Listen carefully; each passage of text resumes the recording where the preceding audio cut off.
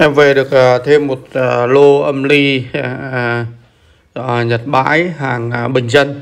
Lô này là lô gọi là cuối cùng trong năm rồi. Em quay toàn cảnh để các bác làm nghĩa nhé. Đấy, Còn bên trái đây Con này con khủng long 9001 Con này em sẽ tí em sẽ làm một bản phối.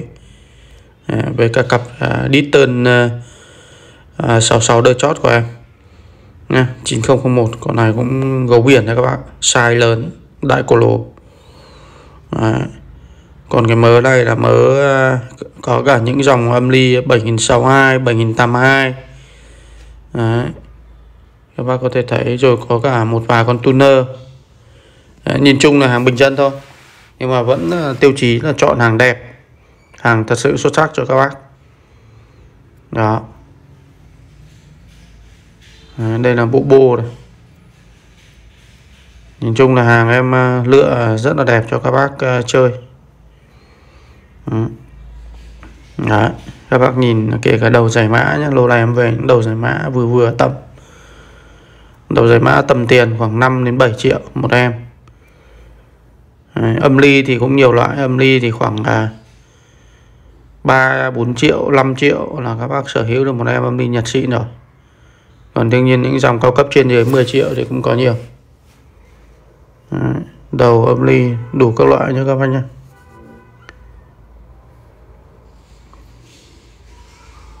Equalizer. Equalizer sai ngắn lần này thì em về mỗi em realistic thôi. Em này rất là hay đấy, đấy còn lại là dòng Pioneer sai bình thường. Sansui. Đấy trong lô này thì à, lại về tiếp mấy à, em này là em rất là chất lượng các bác nhìn này những em quay tay sách đây. Những em à, uh, piano kéo đẩy nhưng mà của em là về luôn cả ba bộ ba món luôn. Đấy, kéo đẩy rồi tuner tức là full full bộ. Kéo đẩy tuner tức là một bộ nó sẽ là ba cục của Pioneer 1500 điện 100V hàng xịn của Nhật. Mặt phay nhôm tay sách đầy đủ nhá.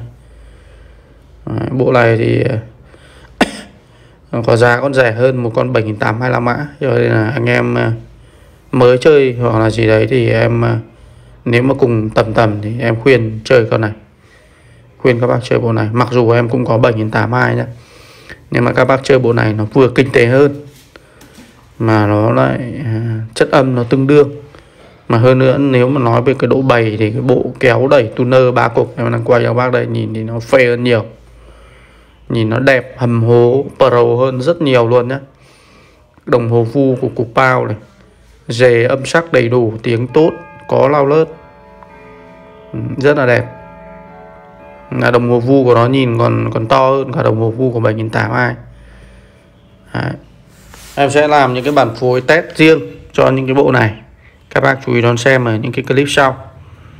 Đấy, sau clip này thì à, giới thiệu hàng về này thì em sẽ lên uh, một cái clip uh, ghép uh, bộ Ditton uh, ờ, vua nhạc vàng của anh cho các bác nghe.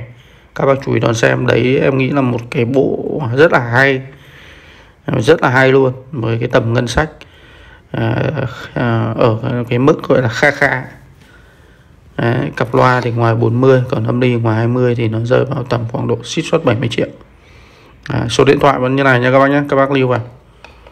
Có nào thì thông tin alo trực tiếp cho bên em cảm ơn các bác đã quan tâm theo dõi.